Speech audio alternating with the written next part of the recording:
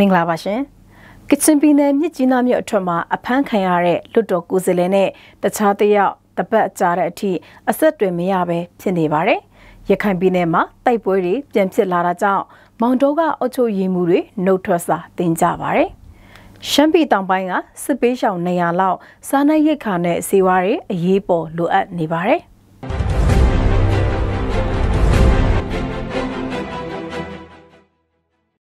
ကချင်ပြည်နယ်မြစ်ကြီးနားမြို့အဝယ်အထွက်20မိုင်ဂိတ်မှာပြည်နယ်လွတ်တော်ကိုယ်စားလှယ်တယောက်နဲ့လူငယ်အမျိုးသားတယောက်တို့အဖမ်းခံလိုက်ရပြီးအခုချိန်ထိအဆက်တွေမရသေးဘူးလို့နှိစက်တူတွေကပြောပါတယ်။မွန်ကြီးမြို့နယ်အမျိုးသားဒီမိုကရေစီအဖွဲ့ချုပ် NLD ပါတီရဲ့ပြည်နယ်လွတ်တော်ကိုယ်စားလှယ်ကိုမျိုးကျော်နဲ့လူငယ်အမျိုးသားတယောက်တို့ကို NUG ရဲ့ငွေတိုက်စာချုပ်တွေနဲ့အတူ22မိုင်ပူပေါင်းစစ်စေးရေးဂိတ်စခန်းမှာဩဂုတ်လ14ရက်နေ့ကစစ်ကောင်စီတပ်ဖွဲ့တွေရဲ့ဖမ်းဆီးတာကိုခံလိုက်ရတာဖြစ်ပါတယ်။ဒီလိုဖမ်းဆီးခံလိုက်ရပြီးတဲ့နောက်အခုချိန်ထိဘယ်နေရာမှာဖမ်းဆီးချုပ်နှောင်ထားတယ်ဆိုတာကိုအဆက်တွေမရသေးတာကြောင့်မိသားစုဝင်တွေကသူတို့ရဲ့အသက်အန္တရာယ်တွေအတွက်စိုးရိမ်နေကြတယ်လို့ NLD ပါတီဝင်တယောက်ကပြောပါတယ်။ရခိုင်ပြည်နယ်ကတိုက်ပွဲဖြစ်ပွားခဲ့တဲ့မောင်တုံမြို့နယ်မှာလုံခြုံရေးအာမခံချက်မရှိဘူးလို့ဆိုပြီးကျေးရွာအုပ်ချုပ်ရေးမှုတချို့စတင်နှုတ်ထွက်လာနေကြပါတယ် ရခိုင်တပ်တော် AA နဲ့စစ်ကောင်စီတို့တိုက်ပွဲဖြစ်ပွားခဲ့ပြီးစစ်ရေးတင်းမာမှုတွေရှိနေတဲ့ရခိုင်ပြည်နယ်မောင်တုံးမြို့နယ်မှာလုံခြုံရေးအာမခံချက်မရှိဘူးလို့ဆိုပြီးကျေးရွာအုပ်ချုပ်ရေးမှူးနေအောင်တာဝန်ကနေနှုတ်ထွက်တွားခဲ့ပါတယ်။မိခမောင်ကျေးရွာအုပ်ချုပ်ရေးမှူးဦးကျော်ညွန့်နဲ့တမန်တာကျေးရွာအုပ်ချုပ်ရေးမှူးဦးမောင်သိန်းညွန့်တို့ဟာအခုတပတ်အတွင်းနှုတ်ထွက်စာတင်ထားကြတယ်လို့မောင်တောခရိုင်အထွေထွေအုပ်ချုပ်ရေးမှူးရုံးရဲ့အတွင်းတည်င်းအရသိရပါတယ်။ ကျေးရွာအုပ်ချုပ်ရေးမှုနေအောင်နှုတ်ထွက်သွားပြီးတဲ့နောက်မောင်တုံးမြို့နယ်အတွင်းကကြန့်ရှိနေတဲ့ကျေးရွာအုပ်ချုပ်ရေးမှုအများစုဟာလည်းလက်ရှိနှစ်ဖက်စစ်ရေးတင်းမာနေပြီးအပြန်အလှန်ဖမ်းဆီးမှုတွေများနေတာကြောင့်ဘဝလုံခြုံမှုမရှိဘူးဆိုပြီးနှုတ်ထွက်စာတင်ဖို့ဆုံးဖြတ်ထားကြတယ်လို့မောင်တုံးမြို့နယ်ကျေးရွာအုပ်ချုပ်ရေးမှုတယောက်ကပြောပါတယ်ဒီလိုနှုတ်ထွက်လာတာဟာမောင်တော်မြောက်ပိုင်းမှာဇွန်လ18ရက်နေ့ကတိုက်ပွဲဖြစ်ပွားခဲ့ပြီးတဲ့နောက်ဇွန်လ20ရက်နေ့က ကျိန်ချောင်းကြေးရွာအုပ်ချုပ်ရေးမှူးနဲ့ကြေးရွာသားနေရောက်အပြင်တာယာကုန်းကြေးရွာတာဝန်ခံကိုစစ်ကောင်စီတပ်ဖွဲ့ဝင်တွေကဖမ်းဆီးခဲ့ပြီးပြန်မလွတ်ပေးသေးတဲ့အတွက်ကြေးရွာအုပ်ချုပ်ရေးမှူးအများစုကတာဝန်ကနေနှုတ်ထွက်ဖို့ဆုံးဖြတ်လာတာကိုတွေ့ရှိရပါတယ်။ဒီတဲ့င်းကိုနရင်ဂျာတာတည်င်းဌာနကပေးပို့ထားတာဖြစ်ပါတယ်။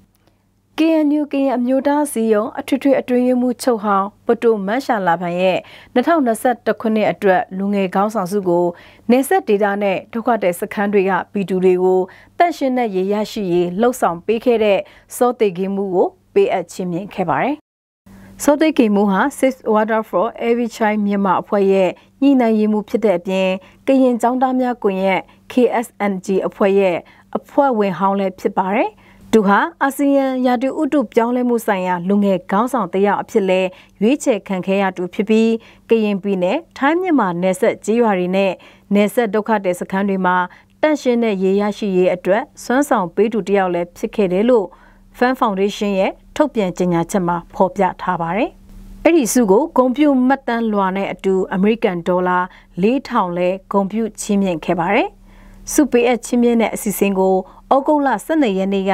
ဖအံခရိုင်မှာကျင်းပခဲ့တဲ့82နှစ်မြောက်ကရင်အမျိုးသားအာဇာနည်နဲ့အခမ်းအနားမှာပတိုမန်းရှာလာဖန်ရဲ့တာကြီးဖြစ်သူ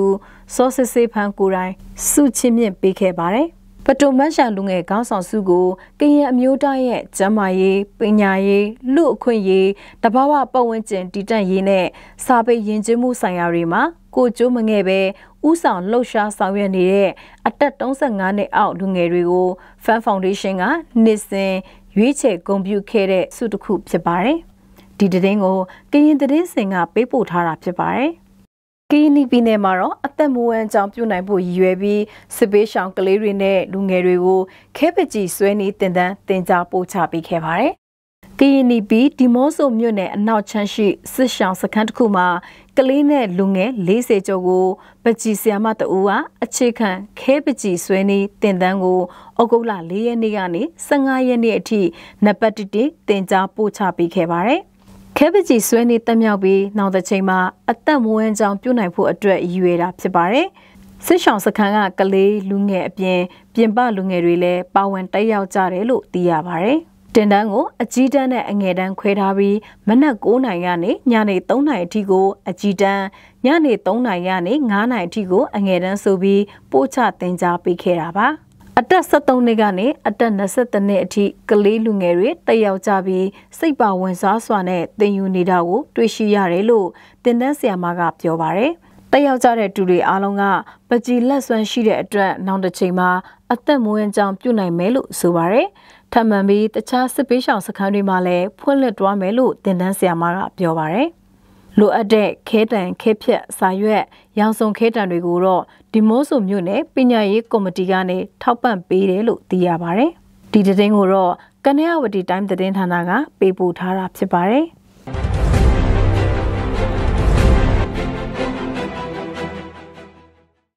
တနိုင်ငံလုံးပြစ်ခတ်တိုက်ခတ်မှုရစရေးတဘောတူစာချုပ် NCA ပြစ်ပြချင်းရှိမရှိကိုကရင်မျိုးသားအစည်းအရုံး KNU ကတရားဝင်တဘောထားထုတ်ပြန်တင်တယ်လို့မကြသေးခင်က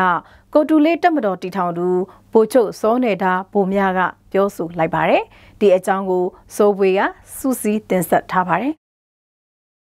National Sport Team NST ကထုတ်လွှင့်ခဲ့တဲ့ဗိုလ်ချုပ်နေတာဗိုလ်များပြောတဲ့ကိုတူလေးတက်မတော်ရုပ်သံထုတ်လွှင့်ချက်ထဲမှာဩဂုတ်လ16ရက်နေ့ကပြောဆိုလိုက်တာဖြစ်ပါတယ်။ NCA ပြပြသွားတာဘယ်သူပြောလဲအဲ့ဒါမမဆိုရင်ပြပြသွားမယ်ဆိုရင်တော့တရားဝင်ဟိုစာစာပေနဲ့ထုတ်ရမှာပေါ့စာနဲ့ပေနဲ့အခုကတရားဝင်မှထုတ်ပြန်ခြင်းအရင်ဘာမှတခုမှမရှိတဲ့အတွက်ကြောင့်လူတို့လိန်စားတာပဲလူတို့လိန်တာပဲအဲ့ဒါဒီလိုပဲသဘောထားမိဘာဖြစ်လဲသူတို့တို့သူတို့ပြောတာ ပြောတာတွေမျိုးလောက်တာတွေမျိုးအဲတမန်မှန်ဆိုရင်တော့ဟိုတရားဝင်ထုတ်ပြန်ခြင်းရဲ့ချက်လောက်ပေါ့လောက်ပြီးတော့ဟိုအဲ့ဒါအဲ့အဲ့ဒါမှဟိုရှင်းမှာပေါ့တူတူအမြင်အခုကတော့လောက်တာမျိုးပြောတာမျိုးဆိုလူတို့ကတော့အဲ့ဒါတော့မရှင်းဘူးပေါ့လူတို့လူတို့ပေါ့ဗိုလ်ချုပ်စောနန္ဒဘုံများဟာအရင်ကကရင်မျိုးသားကာကွယ်ရေးအဖွဲ့ KNU ရဲ့စစ်ဦးစီးချုပ်ဖြစ်ပြီးလက်ရှိမှာတော့ ကော်တူးလေးတက်မတော်ကော်တူးလေးအာမီကိုဦးဆောင်တည်ထောင်တဲ့ကရင်တော်လှန်ရေးခေါင်းဆောင်တစ်ယောက်ဖြစ်ပါတယ်။ NCA ပြက်ပြက်သွားပြီလို့ပြောဆိုနေပေမဲ့တစ်ဖက်မှာတော့ KNU ဘိုကခေါင်းဆောင်တချို့ဟာစစ်ကောင်စီတပ်ကို NCA လမ်းကြောင်းကဆင့်ဆက်သွယ်ပြောဆိုတာတွေရှိနေသေးတယ်လို့လည်းဗိုလ်ချုပ်စောနန္ဒဘုများကဆက်ပြောပါတယ်စစ်ကောင်စီလည်းဟိုအနာသိလိုက်တယ်ပြီးတော့ဟိုအခုအခုဘာလောက်ရမလဲဆိုတော့ချို့ကတော့ NCA အယူဆလာရှိသေးတယ်ဒါပေမဲ့သူတို့သူတို့ပြောတော့ NCA ပြန်ပြန်နေပြီပြန်ရင်လည်းကြံသူ့ဟိုဟို under table နော်သူ့စပွဲအောက်မှာသူတို့ဆက်သွင်းနေတာလည်းရှိတယ်အဲ့ဒါလည်းမဟုတ်ဘူးဖေဖော်ဝါရီလ၁ရက်နေ့မှာစစ်တပ်ကအာဏာသိမ်းပြီးနောက်အာဏာသိမ်းမှုကိုစန့်ကျင်တဲ့လက်နက်ကင်တော်လှန်ရေးအဖွဲ့အစည်းတွေနဲ့စစ်တပ်တို့ကြားနေရာဒေသတော်တော်များများမှာတိုက်ပွဲတွေပြင်းပြင်းထန်ထန်ဖြစ်ပွားလာခဲ့ကြပါတယ်။ ပြည်내တွေမှာဆိုရင် NCA အပြည့်ရဲ့စာချုပ်လက်မှတ်မရေးထိုးထားတဲ့တိုင်းသားလက်နက်ကိုင်အဖွဲ့အစည်းတွေနဲ့စစ်တပ်တို့ကြားတိုက်ပွဲတွေဖြစ်ပွားနေတယ်လို့ NCA စာချုပ်လက်မှတ်ရေးထိုးထားတဲ့တိုင်းသားလက်နက်ကိုင်အဖွဲ့အစည်းတွေနဲ့ပါတိုက်ပွဲတွေဖြစ်ပွားနေတာပါ။ဒီလိုတိုက်ပွဲတွေပြင်းထန်စွာပြစ်ဖွာလာခဲ့ပြီးနောက် NCA လက်မှတ်ရေးထိုးထားတဲ့ကရင်မျိုးသားစီယုံ KNU ကပြောရေးဆိုခွင့်ရှိသူတွေနဲ့တာဝန်ရှိသူတွေကအာဏာသိမ်းထားတဲ့စစ်ကောင်ဆောင်တွေနဲ့လက်တွဲမှမဟုတ်ကြောင်းနဲ့ NCA စာချုပ်ကလည်းပြက်ပြက်သွားပြီလို့ထုတ်ဖော်ပြောဆိုလာခဲ့ကြတာပါ ရှမ်းပြည်တောင်ပိုင်းလဲချမြို့နယ်နောင်လိုင်ကျေးရွာကနေជីတီမြို့နယ်မိုင်းနန်းကျေးရွာကိုထွက်ပြေးရောက်ရှိနေတဲ့တအောင်စစ်ပေးဆောင်ပီတူနေရနီးပါးဟာတလကြော်ကြာလာတဲ့အထိနေရမပြန်နိုင်သေးတာကြောင့်စားနပ်ရိက္ခာတွေအရေးပေါ်လိုအပ်နေတယ်လို့အကူအညီပေးနေတဲ့တူတွေကပြောပါတယ် စစ်ရေးပရိပခါတွေရဲ့နောက်ဆက်တွဲအနေနဲ့ရှမ်းပြည်ပြည်လဲထူထောင်ရေးကောင်စီရှမ်းပြည်တမတော်တောင်ပိုင်း RCSS SSA ကစစ်သားတစ်စုဆောင်းနေတဲ့အတွက်နောင်လိုင်ကျေးရွာကအမျိုးသားအများစုအပြင်စစ်ပေးရှောင်အယောက်200ကျော်ခန့်ကမိုင်းနန်းကျေးရွာမှာစစ်ပေးရှောင်နေကြရတာတလနီးပါးရှိလာပြီဖြစ်ပါတယ်။မိုင်းနန်းကျေးရွာရောက်စစ်ပေးရှောင်တွေကိုတွားရောက်ကူညီပေးခဲ့တဲ့တအန်းအမျိုးသမီးအစည်းအရုံး TWO အဖွဲ့ဝင်တဦးကအခုလိုပြောပါတယ်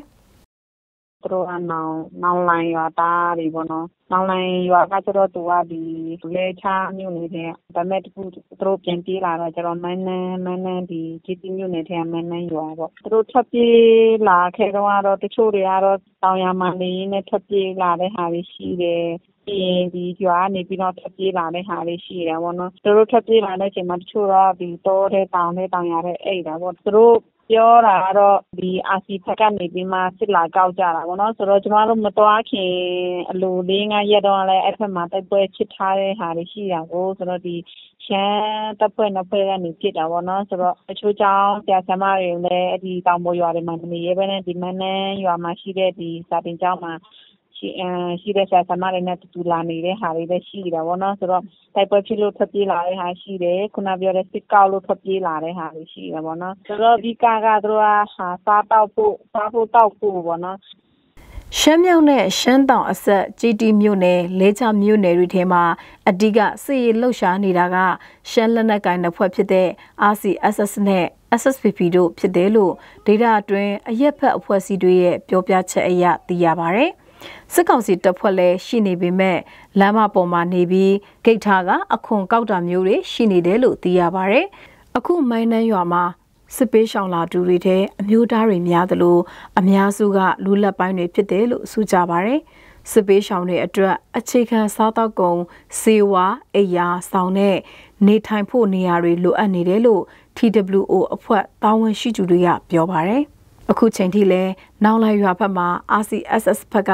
စစ်ရေးလှုပ်ရှားမှုတွေရှိနေသေးတယ်လို့ဇွန်လ23ရက်နေ့ကဖမ်းဆီးခံလိုက်ရတဲ့ရွာသားအယောက်90ကျော်ထဲက10ယောက်လောက်ကဒီနေ့အချိန်ထိပြန်မလွတ်လာသေးတာကြောင့်သူတို့ရဲ့မူလနေရရွာကိုပြန်ဖို့ကလည်းမဖြစ်နိုင်သေးဘူးလို့ရွာသားတွေကဆိုပါတယ်။လဲချမြို့နယ်ထဲကစစ်သားတစ်စုဆောင်မှုနဲ့ ရွာသားတွေဖမ်းဆီးခေါ်ဆောင်သွားတဲ့ကိစ္စတွေနဲ့ပတ်သက်ပြီး RCSS SSA ရဲ့ပြန်ကြားရေးတာဝန်ရှိသူတွေကိုဆက်သွယ်ခဲ့ပေမဲ့ဆက်သွယ်လို့မရခဲ့ပါဘူး